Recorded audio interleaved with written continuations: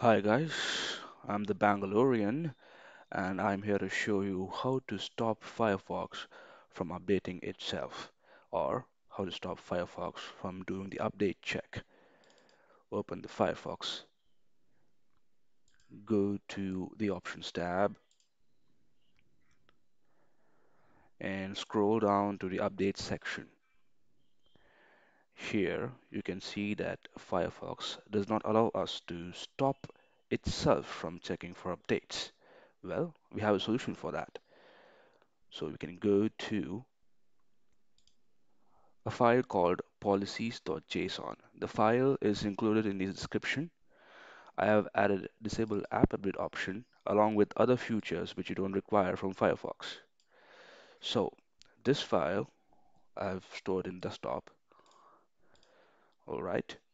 And from here, copy, go to the Firefox installation directory,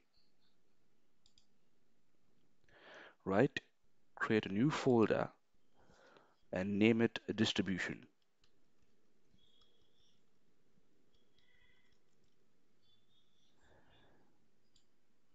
Right? Open the directory and paste the JSON file.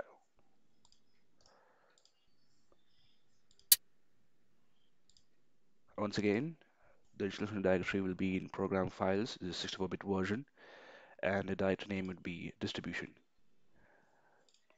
And now restart your Firefox.